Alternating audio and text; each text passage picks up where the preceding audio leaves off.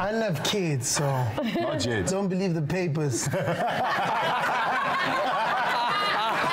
believe the Bible. it's not my kid. It is a question that's particularly interesting for, for somebody like you, Cass, because you are the superstar. You're in the Yeah. public limelight all the time. Is there part of you that would like to settle down in the Yeah, yeah, suburbs yeah, one yeah, day yeah. with the Later. white picket fence and? I travel a lot and I love money, so I can't have kids right now. yeah, like, I wouldn't be able to share my money with with the kid. They're expensive, huh? That's not so bad. I've- no, I've got a big family. Like I take care of my mom, my sisters. You know, I've got I've got so many people to take care of. So when I think about having a kid right now, it doesn't make sense because I love money. I'm, I'm still having fun with my money, you know, and I travel a lot.